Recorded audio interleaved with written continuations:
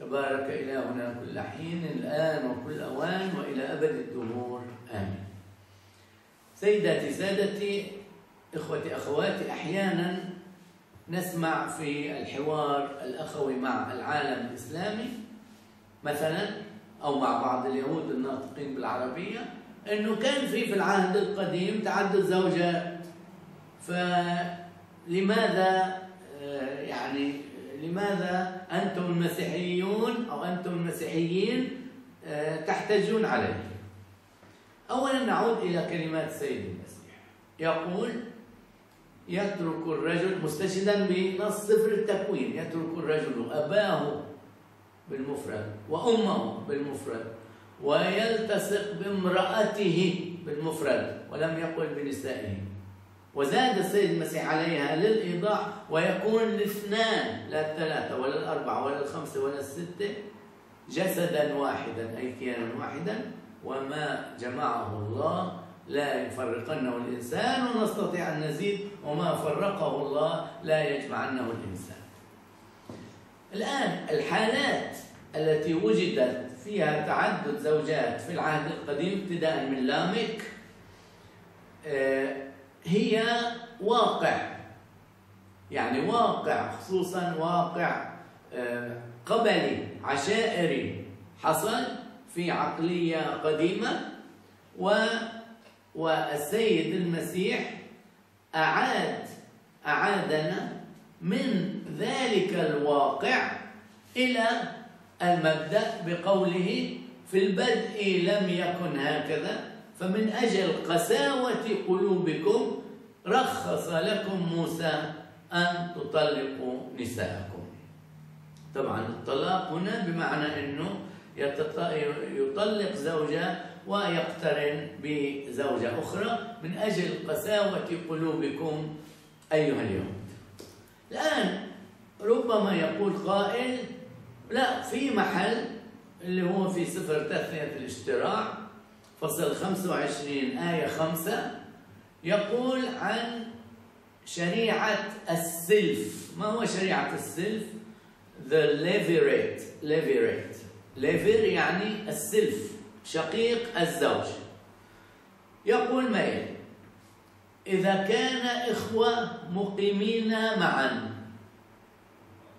وتوفي أحدهم من غير أن يترك ولدا يجب على أخيه أن يقترن بالأرملة ويقيم نسلا لأخيه لدرجة أنه الطفل الأول خصوصا الذكر طبعا الذي يولد يحمل اسم المرحوم حتى يبقى ذكره.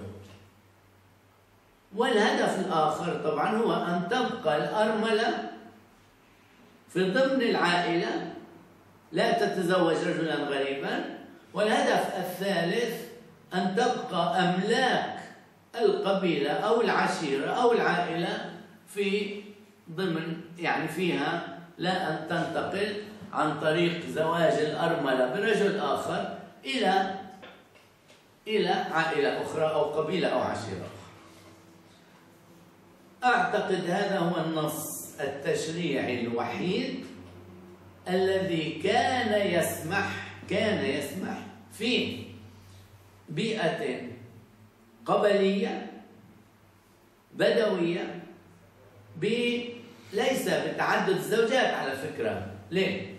يعني مش أكيد إنه هذا يسمح بتعدد الزوجات لأنه مش أكيد إنه هذا السلف يكون متزوجا. مش أكيد. يعني نفرض إنه الأخ عادة الأخ الأكبر يموت قبل الأخ الأصغر. مثلا نفرض واحد عنده بس ولدين. الأخ الكبير متزوج وتوفي يظل الأخ الأصغر وهو غير متزوج. وهذا يجب أن يقترن بأرملة أخيه وينجب منها. طبعا هنا ما صارش في تعدد زوجات لأنه هو أصلا هذا الشاب الصغير الأخ الصغير ليس متزوجا. إذا النقطة الأولى ليست هذه رخصة آلية أوتوماتيكية لتعدد الزوجات. هي هي أولا. ثانيا هنالك شروط. الشرط إذا كان إخوة مقيمين معا. مش إذا واحد مقيم في بيت لحم والآخر مقيم في في شكيم يعني نابلس لا لأنه هنا المسألة أيضا مسألة المحافظة على الأرض. إذا وجدت أرض لل... لل... للرحل. إذا إذا كانوا مقيمين معا إذا لم ينجب فإذا هذه شروط لا تجعل شريعة السلف شريعة مطلقة عامة. طبعا رب قائل يقول وهنا لا أريد أن أدخل في الإسلاميات دون مؤاخذة أنه أيضا في سورة النساء. ثلاثة يقول إن خفتم ألا تقسطوا يعني أنه ما تكونوش عادلين. في اليتامى آه فطبعا هنا أيضا في شرط. يجب آه، أخذ النصوص بكل نزاهة. إذا في تثنية الاشتراع فصل 25 آه، آية 5 يوجد يوجد عندنا على الأقل شرطان. والهدف طبعا معروف زي ما قلنا ذكر المرحوم ضبط الأرملة ضبط الممتلكات. السيد المسيح لم لم يأخذ هذه الشريعة بالحسبان لأن الظروف التي نشأت لسببها تلك الشريعة ما كانت متوفرة في زمان المسيح أو السيد المسيح بنبوية إلهية خارقة كان يعرف أنه هذه ظروف ستزول في 99% من البلدان. لأن يعني أولا الإخوة مش راح يسكنوا جنب بعض. ثانيا آه ذكر آه يعني ولا أي دولة مدنية ما راح تقبل إنه واحد يسمى باسم آه عمه بدل ما يكون باسم والده أو يوضع على اسم واحد متوفى. ثالثا آه الأرملة نفسها مع التقدم يعني في في الحريات المشروعة لا أتكلم عن الإنفلاتية. الأرملة ليست آه، مجرد أثاث في البيت إنه نلبسها لأي واحد حتى حتى نضبطها وحتى تبقى في حتى تبقى في العائلة وحتى تبقى الأملاك للعائلة. هي هي روح هي بني آدم إنسانة حرة حرة بعواطفها بما أنه عقد الزواج في المسيحية وأيضا في اليهودية والإسلام لا يربط الإنسان بعد الوفاة. أحببنا أن نوضح هذه الأمور وشكرا لإصغائكم.